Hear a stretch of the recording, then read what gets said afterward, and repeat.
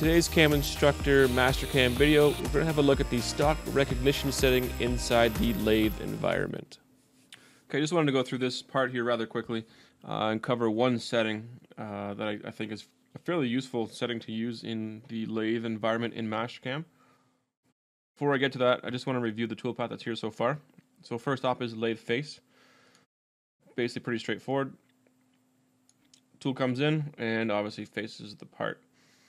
Uh, so the method shown for this chaining is to just simply not really chain anything. It's just inside the operation you select use stock and you tell it where uh, basically Z0 is here by giving it a Z location. Uh, what then it that will do then is it goes into the stock setup to find out how far in X it needs to start this face pass from and where to continue it to. So, so in this facing operation, we are in fact using the stock information about um, our setup. However, if we go down into operation number two, and let's just look at the parameters here real quick here first. Uh, so roughing, maximum depth of cut is set at 0.1, and we're set to equal steps. Uh, so basically, we, might not get a depth of cut that's exactly 0.1, but we won't get a depth of cut any more than this, and all of our steps should be um, equal amounts of cuts. Okay, so if I go into this back plot here, start stepping through, you can see the X location I'm currently at, 1.195. Feeds up until it meets the, the shoulder here, and then kind of profiles around that and continues on down the rest of the part. Uh, so next cut, 1.995, or sorry, 0.995. So it has uh, done that 100 thou depth of cut, so it works out to 200 thou diameter. But uh, the first cut, going back to the first cut,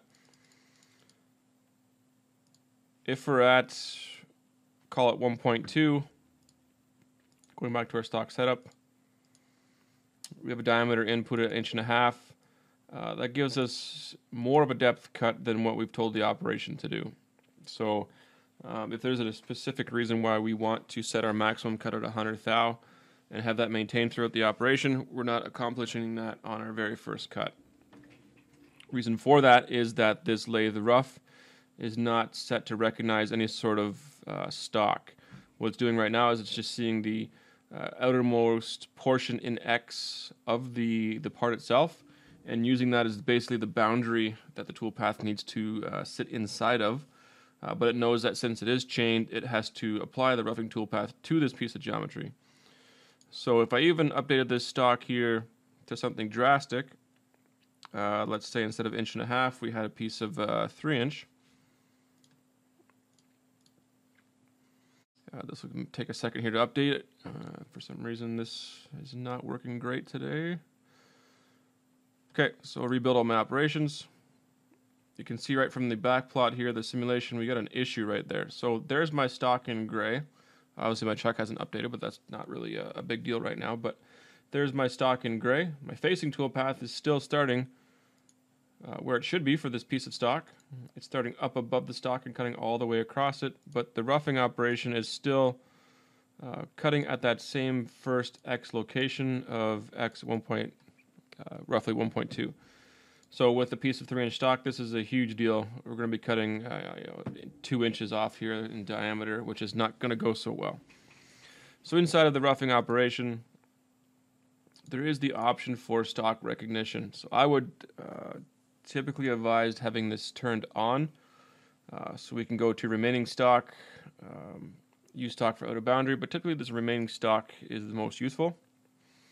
Uh, we do have adjustment options here if you needed to adjust uh, to, to, manipulate the tool path.